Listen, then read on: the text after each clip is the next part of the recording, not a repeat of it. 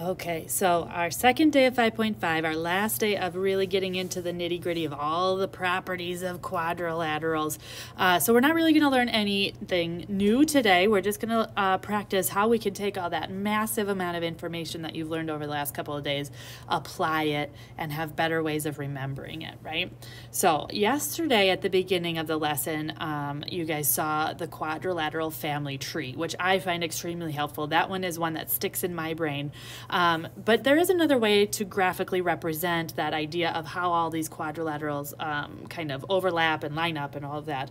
And that is with a Venn diagram. So um, I'm sure you've seen Venn diagrams before, uh, but this is one of those places where it does actually help. So it depends on what type of visual representation you like and you know that really sticks with you. This is a different one. So pause your video, draw it. It's not a real easy Venn diagram to draw um, if you need to, but this is just another way to kind of visually remember how all these things fit together.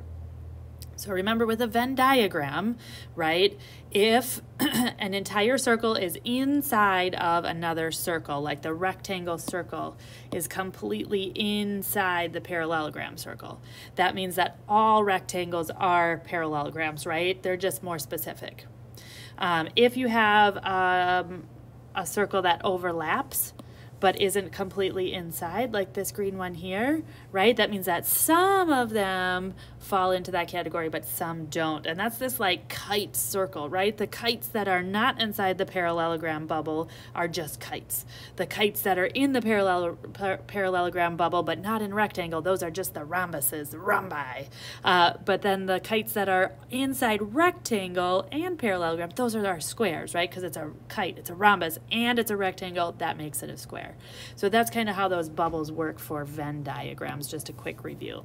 So these actually come into play very well, again, for your true, false, always, sometimes, nevers, those kind of ideas, right? So if you can draw that picture, then um, you can really remember where everything falls, and these true, false things come very easily.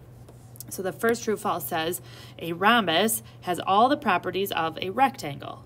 Okay, let's find the rhombus. A rhombus here and a rectangle here. Does a rhombus have all the properties of a rectangle. Like, is a rhombus a rectangle? The answer is no, they're not overlapping. There's one tiny little slice that's overlapping, but those are the squares, right? A plain old rhombus does not have the properties of a rectangle. This is false. Okay, the next one says a kite has all the properties of a parallelogram. Here's a kite, Here's a parallelogram, right? Remember, the kites are the part of that bubble that are outside of the parallelogram bubble. So the answer is no, they don't share the same properties, right? So number two is also false. Number three says a rectangle has all the properties of a parallelogram. So here's rectangle, here's the bubble, completely inside the parallelogram bubble, right? So for number three, the answer is true. All rectangles have every property of a parallelogram, so this one is true. And now maybe you could answer that without using the Venn diagram, but I just wanted to show you a way that you could use that um, in order to help answer those true-false that sometimes get a little bit tricky and kind of all the words jumble up in your head. So Venn diagram is another great representation. So let's talk about, you know, well, here's a, a, whole bunch more, right? These were all the properties ones, but you can just use that Venn diagram. You can use your family tree. Um, you know, yesterday we talked about how to use that family tree for these true false ideas, right? The always, sometimes, nevers. But I'm going to just keep referring back to um, the Venn diagram up here to answer that. So it says trapezoids are parallelograms for number one. Here's trapezoid. Here's parallelogram. Those bubbles do not overlap. The answer to that is false. Okay. Number two, a rectangle is a rhombus. Now, whenever you need to, if you want to pause your video, write it down, see if you can answer it, and then come back and see it. I think that's a great way to do these. A rectangle is a rhombus for number two. Let's see, here's a rectangle, here's a rhombus. Is a rectangle ever a rhombus? Well, it is sometimes, right? If this was an always, sometimes, never, this would be a sometimes, but this is just a true false. Is a rectangle a rhombus? False. Unless it's always, always, it has to be false. Okay. Number three, squares are rectangles. Is a square a rectangle? Square, completely inside the rectangle bubble. Yes, that one is true. All squares are rectangles. True. Parallelograms are quadrilaterals. Parallelogram, completely inside that giant quadrilateral bubble, right? True. Isosceles trapezoids are parallelograms. Here's isosceles trapezoid. Here's parallelogram. Those bubbles do not overlap, so the answer to that is false. Oops. Right. Rhombus is a square. Rhombuses are squares. Let's see, here's a rhombus. This is a square, right? Is every rhombus a square? No. Some rhombi are squares, but not all of them. So the answer is false. A rhombus is not always a square. Ooh, but now the backwards, right, is a square, a rhombus. So here's square, here's the rhombus circle. True. Every square is a rhombus. It is inside that rhombus circle. So this one is true. A trapezoid is a rectangle trapezoid, rectangle. Don't overlap. Definitely false. Okay. A rectangle is a parallelogram. Rectangles are parallelograms. Here's rectangle. This whole rectangle bubble is completely inside the parallelogram bubble. That one is true. All right, rectangles are parallelograms. True. And our last one here a rhombus is a parallelogram. Rhombuses are parallelograms. Here's our rhombus. Here's our parallelogram bubble. Yes, every rhombus is a parallelogram. It's completely inside that parallelogram bubble. True. So it does get a little confusing with the overlapping parts, but when you can see like a whole bubble inside the other one, the true false gets really easy, or if there's a whole bubble outside the other one. So the Venn diagram, you know, helps for those real straightforward ones. I think the family tree does a little bit better job on those overlapping ones, right? It's easier to kind of manage your way through that, but I just wanted to show you another method in case that family tree wasn't connecting with you. So let's talk about, okay, how can we use all of these properties, right? So let's get some problems here where we're given some information uh, and we really want to just see how we use all those, um, all that massive list of details. So first of all here we have VRZA is a parallelogram. So we know all of the things that go along with a parallelogram. What do I know? Let's see, opposite sides are congruent and opposite sides are parallel. But looking at all of my given information here, it's looking like they're just giving me segment lengths and no angle measures. So I don't think the parallel is going to come into play. But I do know, since it's a parallelogram, both pairs of opposite sides are congruent. That's how we use that information, right? Now let's put all these different things where they go. So segment AV is 2x minus 4. All right, segment VR is 3y plus 5. Segment RZ, there's a weird line here, ignore that, right? RZ is 1 half x plus 8. And then I have segment ZA, which is y plus 12. It's asking me to find the perimeter, right? So if I want to find the perimeter, I need to figure out what are x and y. I need to find out all those side lengths, and then I need to put all the pieces together. Well, since I know that the opposite sides are congruent, that means that I have two different pairs, uh, or two different equations that I could write, right? So the first one, I would say, these two sides are congruent. So I could say 2x minus 4 equals 1 half x plus 8. The other equation that I could write is that the top and the bottom are congruent, right? So I could say 3y plus 5 equals y plus 12. Now I notice in my two equations, like in the first equation, I only have x's. In my second equation, I only have y's. Well, that's cool, so I can just solve each one separately. Hopefully you can pause your video and solve away without listening. But if you get stuck, here we go. So in my first equation over on the left, I see that I have a fraction. I am going to clear that fraction immediately. Remember, to clear fractions, we multiply by the denominator. So 2x times 2 is 4x minus 8 equals x plus 16. So I cleared that 1 half just to make my life easier. Subtract x, so I get 3x minus 8 equals 16. Add 8 to both sides, I get 3x equals 24.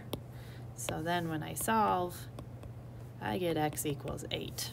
All right, so I could take that x equals 8 and plug it back into my picture up here. So that means that I have 2 times 8 minus 4. 2 times 8 is 16. So I have 16 minus 4, which gives me 12. Okay, then I could do the same thing over here on the right-hand side. So 1 half times 8 plus 8 8 here for x. So I get 4 plus 8. Oh, look, it happens to be 12. Boy, I didn't even have to show the work on that one. I knew my opposite sides were going to be congruent, right? But depending on which side you started with, you could do either one, but you didn't have to do both. Okay, now I'm going to hop in here into the middle, and I'm going to solve this one. So let's see, over here, I'm going to subtract y. I get 2y plus 5 equals 12 going to subtract 5. I get 2y equals 7. I'm going to divide by 2. I get y equals 7 halves. Now I know that you guys are going to all do this and you're just going to write 3.5. Okay, fine, whatever. It's up to you. Okay. So let's see. If I plug that back in, so I have 3.5 plus 12 up here on the top which is going to be 15.5 or 15 and a half if you want to make me and Mr. Morris happy without the decimals. But we know you. This is an okay decimal, I guess. If you plugged into the bottom first, it'd be 3 times 3.5 plus 5. Whoops. 3 times 3.5 is 10.5 plus 5, which gives us again 15.5. All right, so the problem did ask us for the perimeter, right? So the perimeter means I would have to add all of those up. So I'd have two 12s plus two 15.5s. So for the perimeter, there we go, I would have 24 plus 31. So the perimeter would be 55. So that's how you could use that idea like, okay, all I know is it's a parallelogram, but I know so much because I know it's a parallelogram, right? So that would be a way you would use it in an algebra problem. Like, what properties could you use in that picture that would help you write your equations? All right, but more often, again, we're going to use it in some proofs, right? So in this picture, you're probably to have to pause and draw and set up your givens and all that good stuff. But B-R-O-W. Oh, sorry, that one got cut off. So this is a W over here. B-R-O-W is an isosceles trapezoid. So step one, B-R-O-W is an isosceles trapezoid. And again, go ahead and pause and see if you can do this on your own. That would be great, right? It says that segment BR is parallel to WO. So we knew that we had one pair of opposite sides, whoops, sorry, um, parallel. This given is telling us which one it is. So we probably could have guessed, but this is confirming, right? We don't ever want to guess when we are writing a proof. So my goal is to prove that triangle WON is an isosceles triangle. So I'm trying to prove that that triangle is isosceles, right? So I'm guessing that I'm going to want to try to prove that these two sides are congruent. All right. Hmm. Well, let's see. If I know that this is an isosceles trapezoid, if I know it's an isosceles trapezoid, that means that the legs are congruent, right? So the non-parallel sides are congruent. So that means that segment BW would be congruent to segment RO. And the reason we'd put there it would be if a quadrilateral is an isosceles, whoops, sorry, trapezoid, then the legs are congruent. So that's how we're going to take those properties and write them in if-then form. If a quadrilateral is a blank, then what property are you using? The legs are congruent. Okay, so I know that for sure. Hmm. Well, let's see. If I'm working backwards a little bit, I need to get those two sides congruent, but I don't know if I'm going to. In isosceles trapezoid, my diagonals do not bisect each other, right? My diagonals are congruent, but they don't bisect, so I don't know that they're split in half. So I will know, I will know that the diagonals are, the whole things are congruent, but I won't know that they're bisected. Oh, I do think that that might help, though. Hmm. If I say step four, segment BO is congruent to segment RW if a quad is an isosceles trapezoid, then the diagonals are congruent. I don't think, so I don't know they're bisected, so I can't use division property or anything like that to get to those two uh, angles, but I'm starting to picture, because if I want to get those two sides of my isosceles trapezoid, if I get these two angles congruent down here, if I get those angles congruent, I can use angles imply sides, right? So I can do one way back from chapter three, whenever I have my isosceles triangles, that's what I'm looking for, right? Angles imply sides, sides imply angles. Which means if I can prove that this triangle, ooh, sorry, let me uh, lighten it up here. If I can prove this triangle, BWO, is congruent to this triangle here, then those contain those little angles and I'm good to go, right? All right, if you need to redraw so you can see them a little bit better, this is what I'm talking about, R-O-W. Right now, I have these ones, and then over here, triangle BWO, these. And I have the reflexive property, right? You see down at the bottom, it's double highlighted there. So I could do step five, WO is congruent to WO. And the reason is the reflexive property for right down here. And now I have my two triangles are congruent. So I can say triangle BWO is congruent to triangle ROW using side, side, side. And that was steps three, four, and five. Now, if you paused and did this on your own, and instead of saying that the diagonals were congruent, you said that the lower base angles were congruent and used side angle side, that would be perfectly fine as well. So just your step four, or you know, you could have swapped out my step four for lower base angles congruent and gotten side angle side, and that is an acceptable way to do this proof. Uh, we're not done yet though. I just got my overlapping triangles congruent. Now I need the step that says those two little angles. Angle NWO is congruent to angle NOW. These guys right here, right? Those are the ones I wanted. That's CPCTC. And then my final step, oh, not my final step, I apologize. side NW is congruent to side NO, right? Angles imply sides. Or if sides are congruent, excuse me, if angles are congruent, then the sides are congruent.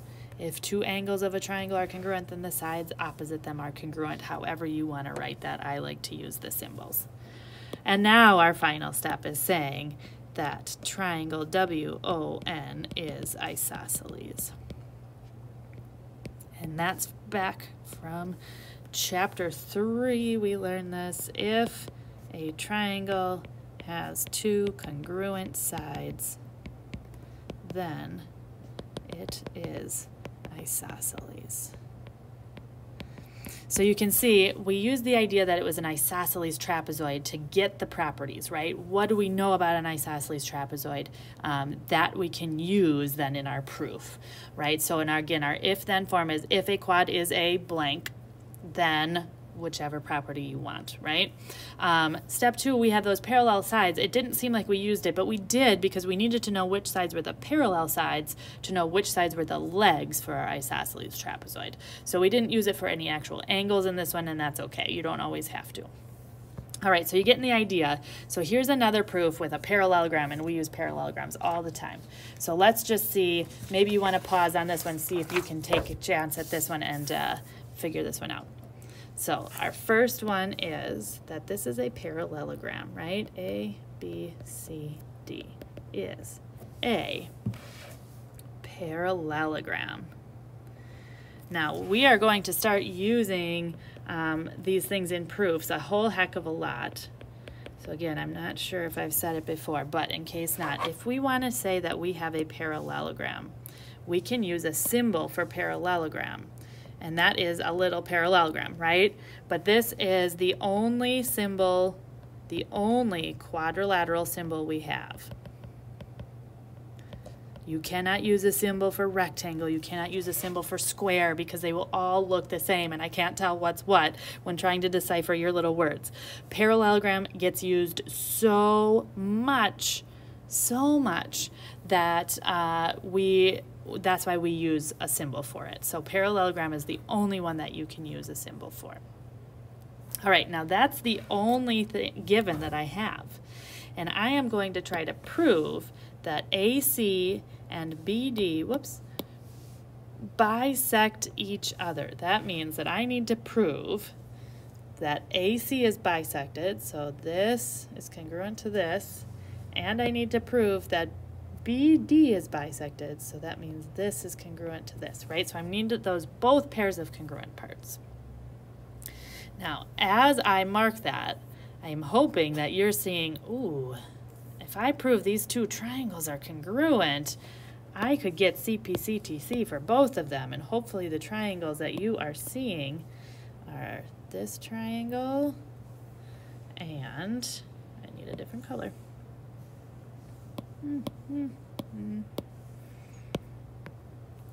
This triangle, right?